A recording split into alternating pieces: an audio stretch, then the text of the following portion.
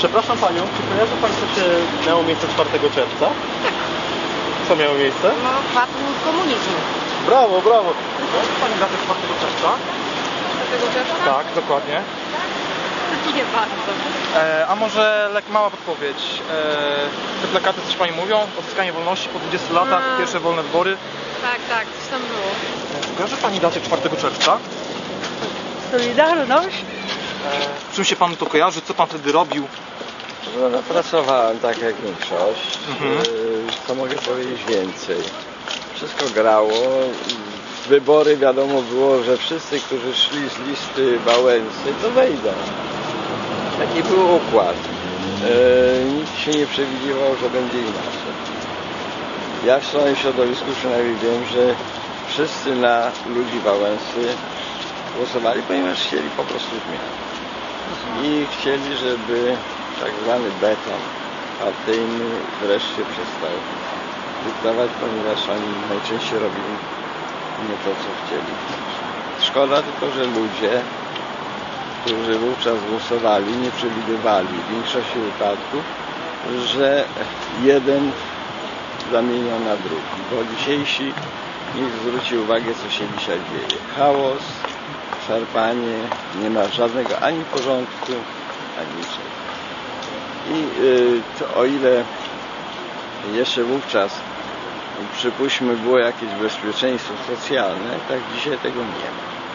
Wszystko razem padło i biedni zostali y, sobie samemu, sami sobie zostawieni, natomiast bogaci mają się dobrze, całkiem dobrze.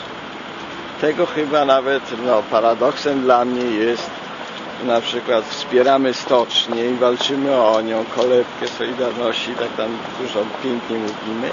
Zapominamy, że jak w Bydgoszczy cały przemysł budowlany, elektroniczny, wszystko padło, to pies kulawą nogą się tym nie interesował. Natomiast ładujemy duże pieniądze w ratowanie czegoś, co w moim pojęciu samo na siebie pracuje. A tak w ogóle to paradoksem jest jedno, że robotnicy teraz jęczą i płaczą, a sami sobie wybierali kapitalistów, żeby mieć lepiej. To jest dla mnie kompletnym paradoksem. Ale tak chcieliśmy, takich dokonaliśmy wyborów. Nie? Słuchając cudownych opowieści, jak to będzie dobrze, gdy będziemy wolni. I tutaj się przypomina Konopnicka ze swoim wierszem Wolny, najmika, który ma prawo umierać pod płotem, bo jest wolny. Tyle mogę Wam powiedzieć. Ja w 4 czerwiec pamiętam, pamiętam te wybory, pamiętam, że wszyscy chcieli, aby e, do Sejmu przyszła grupa ludzi niezwiązanych z partią i nie z tego wyboru. I o tym myśmy myśleli. I dlatego ci ludzie wygrywali. To była podstawowa nasza zasada. Tyle mogę powiedzieć. Więcej. Nawiasem mówiąc, domu plakaty, nie wiem, czy... Nie, plakatów tych wyborczych nie mam, bo, bo tam, ale inne plakaty mam.